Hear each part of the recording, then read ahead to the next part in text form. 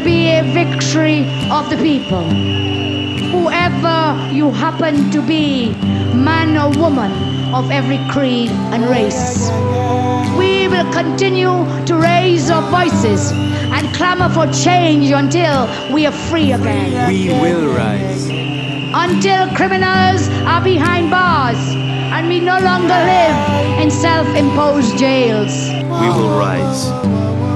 Until our children can be safe in schools. Until our hospitals have beds and medicines. We will rise.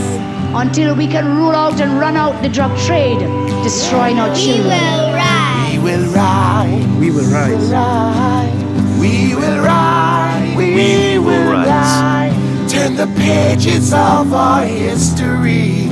Change the courses of our lives.